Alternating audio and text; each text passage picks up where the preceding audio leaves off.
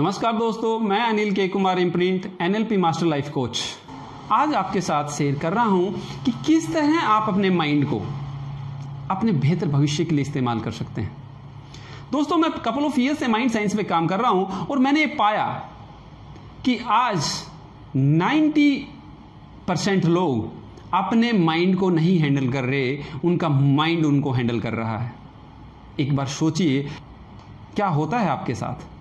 Student चाहता है पढ़ना, लेकिन उसके अंदर से एक आवाज़ आती है कि नहीं, आज नहीं, कल से पढ़ना शुरू करेंगे। दोस्तों, उसको रोक कौन रहा है उसका माइंड दोस्तों, आप अपना बिज़नेस आगे बढ़ाना चाहते हैं और आप चाहते हैं कि इस बिज़नेस में मैं स्टार्टअप दूँ, लेकिन स्टार्टअप के लिए जब तैयार होते हैं तो आपका, आपको रोक कौन रहा है आपका माइंड दोस्तों, जब आप अपने रिश्ते को अच्छे, बेहतर बनाना चाहते हैं तो आपको रोक कौन रहा है आपका माइंड दोस्तों, जब आपको अपना माइंड रोक रहा है तो इसका मतलब आप अपने माइंड को हैंडल नहीं कर रहे हैं।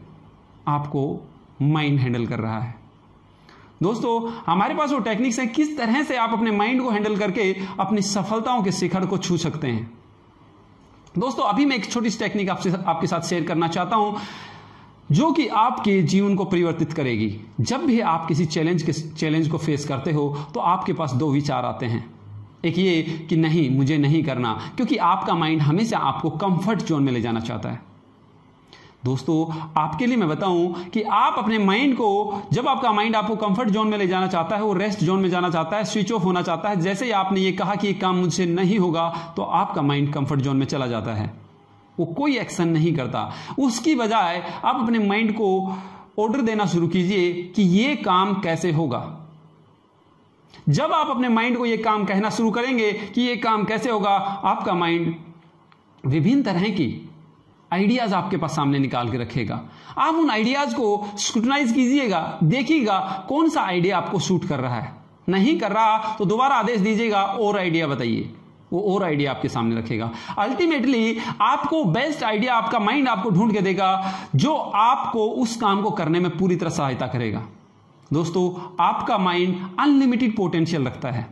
उसका इस्तेमाल करना शुरू कीजिए। मैं आशा करता हूँ आप इस टेक्निक को ज़रूर यूज़ करेंगे। आप अपने माइंड से पूछेंगे how can I handle this situation आप अपने माइंड से पूछेंगे कि इस काम को मैं कैसे कर सकता हूँ। और आपका यह पूछना आपके माइंड को ऑर्डर देगा और बार बार आपका यह पूछना आपके माइंड को आपके कंट्रोल में लेके आएगा।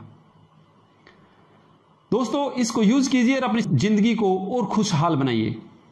हूँ। अगली वीडियो में जल्दी मिलते हैं। आप हमारे चैनल को सब्सक्राइब करना, लाइक करना मत भूलिएगा और बेल आइकन को ज़रूर दबाइए ताकि लेटेस्ट वीडियोज़ आपके साथ मिले। अगर आपको ये लगता है कि ये वीडियो आपके दोस्तों की, आपके अपनों की, आपके रिश्तेदारों की या किसी की भी हेल्प कर सकता है तो इसको फॉरवर्ड करना या शेयर करना ना भूलिएगा। अगली वीडियो आप किस तरह की चाहते हैं, उसके लिए आप कमेंट्स बॉक्स में ज़रूर लिखिएगा ताकि हम आपकी हेल्प कर सकें। All the best.